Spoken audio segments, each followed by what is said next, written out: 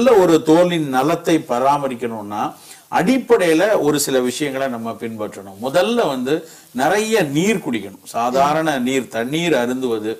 தினம் தண்ணீர் வந்து ஒரு ஒரு நாளைக்கு அதுவும் நம்ம வெப்ப பூமியில வாழறக்கூடியவங்க எல்லாமே நாலு லிட்டர் நாலரை லிட்டர் தண்ணீர் குடிக்கிறது ரொம்ப நல்லது. ரெண்டரைல இருந்து மூணரை லிட்டராவது குறைந்தபட்சம் குடிக்கணும்னு சொல்லி மருத்துவ உலகம் சொல்லுது. முதல்ல தண்ணீர். அடுத்து ரெண்டாவது பழங்கள் நிறைய எடுத்துக்கணும். எல்லா பழங்களும் எந்த இடத்துல நம்ம வசிக்கிறோமோ அந்த இடத்துல விளையக்கூடிய அதுக்கு அருகாமையிலிருந்து வரக்கூடிய இயற்கையில் விளைவிக்கப்பட்ட இயற்கை உரங்களால் நஞ்சற்ற ரசாயனங்களால் விளைவிக்கப்பட்ட பழங்களை மட்டும்தான் நம்ம வந்து அருந்த தினசரி எடுத்துக்கொள்ளணும். இது ரொம்ப முக்கியமானது.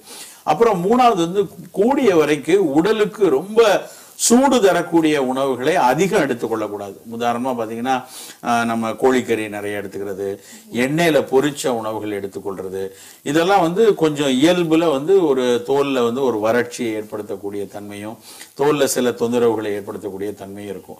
இந்த மாதிரி நம்ம எடுத்துக்கணும். அதுக்கப்புறம் சில வகை பண்டங்களை தமிழ் மருத்துவத்தில் வந்து கரப்பான் பண்டங்கள்னே ஒரு லிஸ்ட் கொடுத்துருக்காங்க.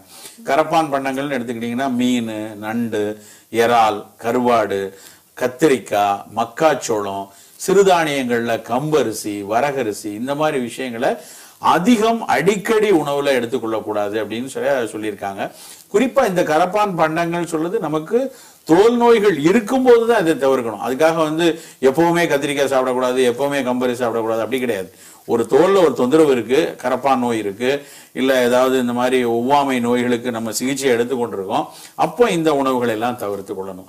அப்புறம் தினசரி எண்ணெய் குளியல் எடுத்துக்கொள்றது தினசரி தலைக்கு குளிக்கிறது வாரத்துக்கு ஒரு முறை எண்ணெய் குளியல் எடுத்துக்கொள்றது.